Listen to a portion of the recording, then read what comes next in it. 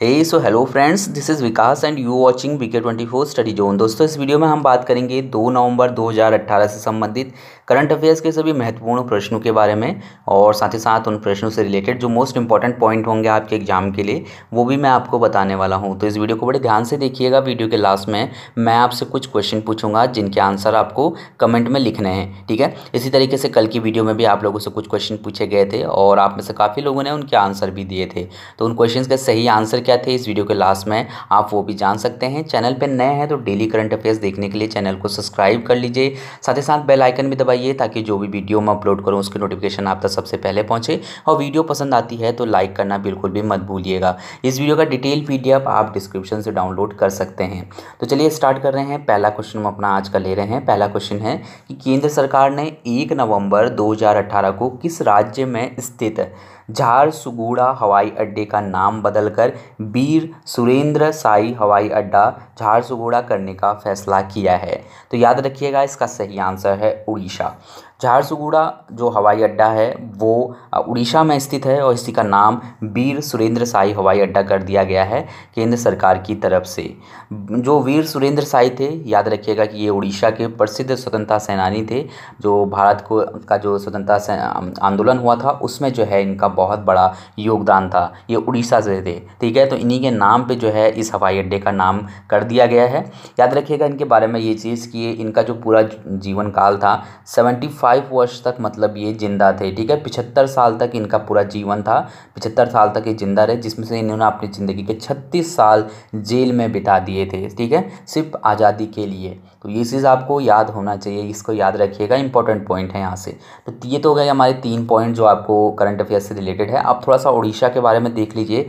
राजधानी है उड़ीसा की भुवनेश्वर राज्यपाल हैं गणेशी लाल वर्तमान में मुख्यमंत्री हैं पट, नवीन पटनायक और जो यहाँ की राजभाषा है वो है उड़िया, ठीक है? तो ये चीज़ आपको पता होना चाहिए। हर एक पर, हर जो हर प्रदेश है, हर राज्य है, उसकी एक राजभाषा होती है। तो यहाँ की जो राजभाषा है, वो है उड़िया, ठीक है? तो ये चीज़ आप याद रखिएगा। चार के चार पॉइंट आपको अच्छे से याद होने चाहिए और पता भी होंगे शायद। सेकंड क्वेश्चन है हमारा कि निम्न में से किस स्टील विनिर्माण कंपनी को हॉकी विश्व कप 2018 का आयोजक भागीदार घोषित किया गया है, ठीक है? तो पुरुष हॉकी विश्व कप की यहाँ पर बात हो रही है, इसका जो सही आंसर है वो है Tata steel, okay? Tata steel को पुरुष हॉकी विश्व कप 2018 का आयोजक भागीदार घोषित किया गया है, ये याद रख, ये आपको याद होना चाहिए। जो ये हॉकी विश्व कप है, इसका आयोजन भुवनेश्वर में होगा 28 नवंबर से 20 दिसंबर तक, ठीक है? इसी बार 2018 में। और ये जो ये जो संस्करण है, ये इसका चौदवा संस्करण है और इस बार इनका आयोजन हो रहा है भुवनेश्वर में, ये आपको पता होना चाहिए। उड़ीसा की राजधानी है भुवनेश्वर और इससे पूर्व की अगर बात करें तो इससे पूर्व जो है 1982 में मुंबई में विश्व हॉकी कप का आयोजन हुआ था और 2010 में दिल्ली में जो है विश्व हॉकी कप का आयोजन हुआ था। तो दो बार भारत में जो है विश्व हॉकी कप का आयोजन हो चुका है और इस बार फिर से हो रहा है, यानी कि ये तीसरी बार जो है भारत में इसका आयोजन किया जाएगा। तो चीज़ आप याद रखिएगा। इसके बाद लास्ट वाला पॉइंट की जो हॉकी इंडिया है, उसके मुख्य कार्यकारी अधिकारी जो हैं, यानी कि सी हैं, वो हैं एलिना नोमान तो इनका नाम भी आपको यहाँ से याद होना चाहिए, क्योंकि अगर पूछा जाता है तो आपको पता होना चाहिए। देन इसके बाद हमारे पास थर्ड क्वेश्चन है कि निम्न में से किस राज्य में सौरा जलानिधि योजना शुरू की गई? तो सौरा जलानिधि योजना जो शुरू की गई है, वो की गई है उड़ीसा में। इस चीज़ को आप याद रखिएगा। इसके बारे में दो चार पॉइंट हैं जो मैं आपको यहाँ पर से बताता हूँ। ये आंसर सही है इसका। इसके बाद यहाँ पर से देखिए, जो पॉइंट बता रहा हूँ, वो याद रखिएगा। उद्देश्य क्या है इसका? तो इसका उद्देश्य क्या है? बेसिकली इसमें क्या होगा, जो किसान हैं, उनको जो है, उनकी भूमि में जो सिंचाई वगैरह वो करते हैं खेतों में, उसके लिए जो है सौर ऊर्जा के उपयोग में वृद्धि की जाएगी। जैसे बेसिकली देखा होगा, अगर आप गाँव वगैरह से हैं तो लाइट वगैरह की समस्या बहुत ज़्यादा रहती है तो उसी को जो है एक तरीके से सॉल्व करने का एक अच्छा सोल्यूशन है कि सौर ऊर्जा का उपयोग किया जाए। ठीक है तो इससे बिजली भी बचती है और सौर ऊर्जा का यहाँ पर कह सकते हैं कि अच्छा लाभ भी मिलता है किसानों को। ठीक है, जब उनको चाहिए होती है, तब वो इस चीज़ को चला सकते हैं। याद रखिएगा, इस योजना के तहत होगा क्या? इसमें नब्बे प्रतिशत की सब्सिडी दी जाएगी। करीब पाँच हज़ार पंप जो है इसमें दिए जाएँगे लोगों को, जो किसान वगैरह हैं, और नब्बे प्रतिशत सब्सिडी दी जाएगी। नब्बे प्रतिशत सब्सिडी का मतलब ये हुआ कि अगर पंप सौ रुपये का है तो किसानों को सिर्फ़ दस रुपये देने होंगे, नब्बे रुपये सरकार देगी, ठीक है? तो बस सिर्फ़ दस रुपये में ये पंप इनको मिल जाएगा। एक एग्ज़ाम्पल था, अगर सौ रुपये का पंप हो तो ठीक है? जो कि है नहीं। याद रखिएगा, नब, पाँच हज़ार जो है सौर पंप दिए जाएँगे किसानों को और यहाँ पर से उड़ीसा के जो मुख्यमंत्री हैं, वो हैं नवीन पटनायक। तो इसी से आपको पता होना चाहिए, बाकी राजधानी, राज्यपाल वगैरह सभी कुछ जो है, हम इससे ऊपर भी देख चुके हैं, ठीक है? राज्यपाल गणेशी लाल, मुख्यमंत्री नवीन पटनायक यहाँ पर दे रखा है, भुवनेश्वर जो है, राजधानी है यहाँ की और राजभाषा है उड़िया। तो ये सब मैं ऑलरेडी आपको बता चुका हूँ ऊपर। ही अब देखिए हमारे पास है क्वेश्चन नंबर फोर्थ कि निम्न में से कौन भारतीय एशियन स्नूकर टूर खिताब जीतने वाले पहले भारतीय बन गए हैं। तो आपको यहाँ से ये भी पता होना चाहिए क्योंकि ये क्वेश्चन भी इंपॉर्टेंट है। पंकज आडवाणी जो है, वो एशियन स्नूकर टूर जो है, जीतने वाले पहले भारतीय बन गए हैं। ये याद रखिएगा, पंकज आडवाणी पूरे महाराष्ट्र के रहने वाले हैं और 2006 में इनको राजीव गांधी खेल रत्न पुरस्कार से भी सम्मानित किया गया था। याद रखिएगा, खेलों का सर्वोच्च सम्मान है ये भारत में, ठीक है? राजीव गांधी खेल रत्न पुरस्कार 2006 में इनको दिया गया था। पंकज आडवाणी जो हैं, वो 19 बार विश्व चैंपियन का खिताब जीत चुके हैं। तो ये चीज़ भी अगर आपसे पूछी जाती है कि पंकज आडवाणी कितनी बार विश्व चैंपियनशिप का खिताब जीत चुके हैं तो 19 बार जीत चुके हैं। ओके? ये चीज़ पता, याद रखिएगा। इंपॉर्टेंट क्वेश्चन है एग्ज़ाम के लिए, आपको पता होना चाहिए। इसके बाद पांचवा क्वेश्चन है हमारा कि हाल ही में निम्न में से किसे आईटीबीपी का महानिदेशक नियुक्त किया गया है? तो सुरजीत सिंह देसवाल को आईटीबीपी का नया महानिदेशक नियुक्त किया गया है और इकतीस अक्टूबर को इनकी इनकी जो है नियुक्ति मंजूर हुई थी। याद रखिएगा कि वो इकतीस अगस्त 2021 तक अपने इस पद पे नियुक्त रहेंगे। किस पद पे? महानिदेशक के पद पे, ठीक है? तो 31 अगस्त 2021 से पहले पहले अगर आपसे ये पूछा जाता है कि आईटीबीपी के महानिदेशक कौन है तो है सुरजीत सिंह देसवाल, ओके? आईटीबीपी की स्थापना 1962 में हुई थी, जब भारत और चीन के बीच में जो है थोड़ा सा तनाव हुआ था तो उस वक्त जो है, उस लड़ाई के बीच में इसकी स्थापना की गई थी, ठीक है? आईटीबीपी की स्थापना 1962 में और इसका जो मेन कार्य है, वो भारत और तिब्बत सीमा की रक्षा करना है। तो बस इतना ही था इसका, याद रखिएगा इस चीज़ को, ये भी क्वेश्चन आपके लिए अच्छा है। नंबर छठा है कि किस स्थान पर एक नवंबर 2018 से वायु, स्वच्छ वायु अभियान कार्यक्रम शुरू हुआ है? तो याद रखिएगा कि दिल्ली में एक नवंबर 2018 से स्वच्छ वायु अभियान कार्यक्रम शुरू हुआ है। दिल्ली में जो वायु प्रदूषण है, उसका स्तर बहुत ज़्यादा खतरनाक लेवल पे पहुँच चुका है, जिसकी वजह से जो है इस कार्यक्रम को यहाँ पर चलाया गया है। एक नवंबर से दस नवंबर तक ये कार्यक्रम यहाँ पर चलेगा। और याद रखिएगा, केंद्रीय पर्यावरण, वन जलवायु परिवर्तन मंत्री जो हैं, वो हैं डॉक्टर हर्षवर्धन। तो केंद्रीय पर्यावरण मंत्रालय की एक ये अभियान है, और साथ में इसमें दिल्ली सरकार का भी सहयोग है। तो आपको ये चीज़ पता होनी चाहिए ये अभियान कहाँ चलाया जा रहा है और कब से कब तक चलाया जाएगा, ओके? चलिए, इसके बाद हमारे पास सातवां क्वेश्चन है कि निम्न में से कौन सा भारतीय नौसेना जहाज़ सात महीने बाद पूरी दुनिया का चक्कर लगाकर वापस भारत पहुँचा है, ठीक है? तो इसका जो सही आंसर है वो है I N S Tarangini.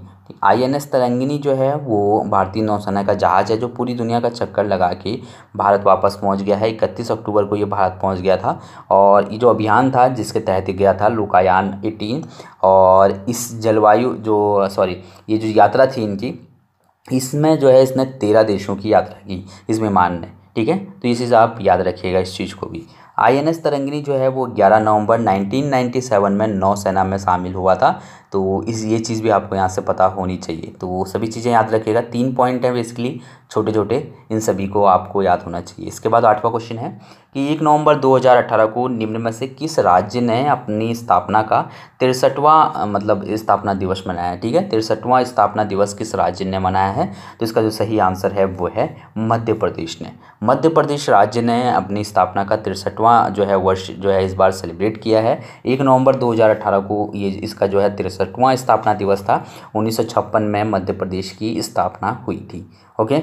और मध्य प्रदेश की राजधानी है भोपाल, राज्यपाल हैं आनंदीबेन पटेल, मुख्यमंत्री हैं शिवराज सिंह चौहान। तो ये सभी चीज़ें याद रखिएगा, मुख्यमंत्री, राज्यपाल, राजधानी और इसकी स्थापना कब हुई थी खास करके वो भी आपको पता होना चाहिए। एक नवंबर 1956 को इसकी स्थापना हुई थी। इसके बाद हमारे पास नाइन्थ वाला क्वेश्चन है कि वित्त मंत्रालय के अनुसार अक्टूबर 2018 में कितना जीएसटी संग्रह हुआ है? तो ये क्वेश्चन खास करके ऐसे एग्ज़ाम्स के लिए इंपॉर्टेंट होते हैं जिनमें फाइनेंस से संबंधित कुछ क्वेश्चन पूछे जाते हैं या फिर बैंकिंग सेक्टर के लिए इस तरह के क्वेश्चन ज़्यादा इंपॉर्टेंट होते हैं। तो इसका जो सही आंसर है वो है लगभग एक लाख करोड़ रुपए।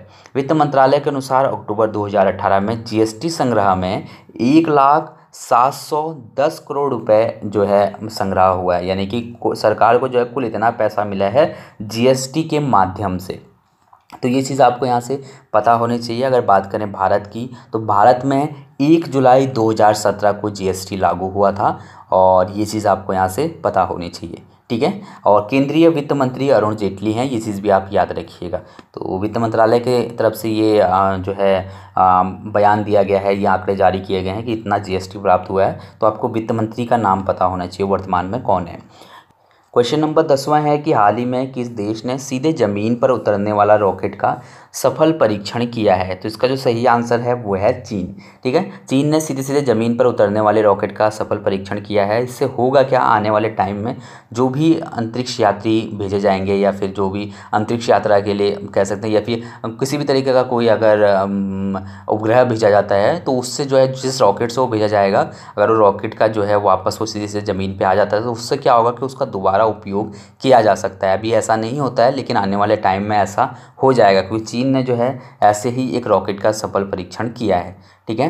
राजधानी क्या है चीन की? ये आपको पता होना चाहिए। राजधानी है बीजिंग, मुद्रा है यहाँ की, रॉनमेन बी युआन और राष्ट्रपति हैं सी जिनपिंग।